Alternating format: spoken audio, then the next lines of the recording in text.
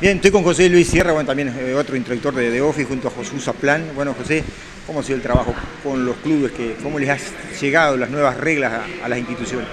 Sí, eh, este, antes que nada, buenas noches para, para hoy la audiencia. Eh, sí, este, estamos intentando trabajar con todo el espectro del deporte, ya lo estamos haciendo con los árbitros, este, observándolo en el trabajo y también en la parte teórica y en la parte práctica, en las clases, en las charlas que tenemos con ellos.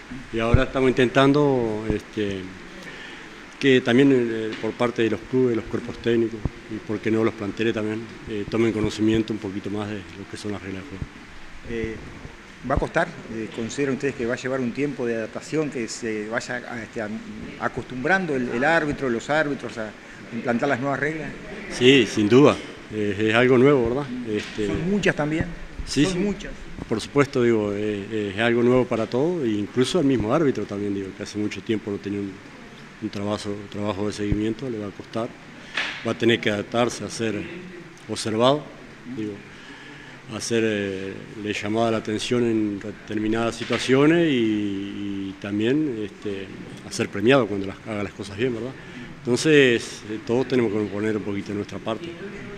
José, me decía Jesús de que hay una regla, el, el artículo 12, que es el que quizás vaya a sobresalir sobre los demás. Sí, este, pero lo que pasa es que para explicarlo hay que tenerlo este, ahí y para que quede claro para todos, ¿verdad? Es decir, eh, cuando vayamos a dar el tema de, la, de las reglas, justamente va a saltar claramente las diferencias que hay hoy por hoy, ¿no?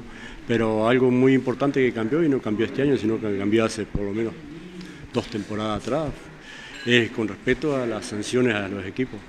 Dejaron de ser con tiro libre indirecto, dejaron de ser con balón a tierra, ya todas son con tiro libre directo. Entonces una inconducta que cometa cualquier integrante de un cuerpo técnico y si es dentro de la cancha y con el balón en juego, la penalidad es muy grave. Y eso hay un desconocimiento total de aquí de los clubes, ¿verdad? Eso es importante explicárselo. Jesús, eh, te pregunto vos como hombre de fútbol, como árbitro del fútbol, eh, ¿qué sensación te está dejando esta Copa América? El VAR que viene jugando un rol importantísimo. Ayer en el partido de Uruguay hubo determinaciones, eh, expulsión en el cuarto gol también que se termina a través del VAR. Bueno, el VAR creo que en algunos aspectos bueno, en otros no tanto. Digo, tenemos que acostumbrarnos que ya no vamos a ver el fútbol que nos gustaba, no, no va a volver a ser nunca como era.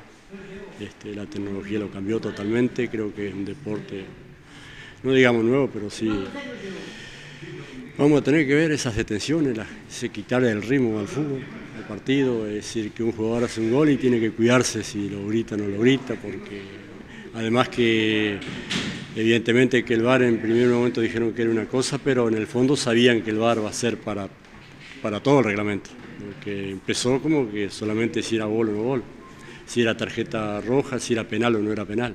Hoy por hoy está sancionando los offside, es decir, eh, eh, poco menos que, lo, que, lo, que la, la, las cuaternas, las ternas que, que, están arbitrando son más bien, digamos, moderadores, porque digo, las decisiones definitivas las toma todo el bar.